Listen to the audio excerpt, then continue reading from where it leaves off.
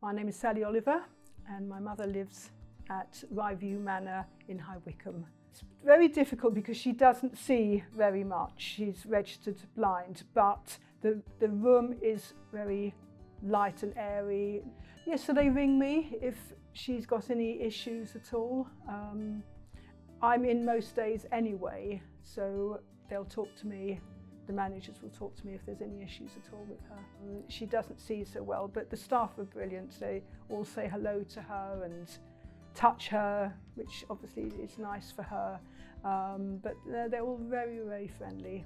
They've got a lot of facilities here. They've got the cinema, they've got the church, um, the, the chapel here. Um, lots of different rooms to sit in, lots of gardens. The gardens are nice.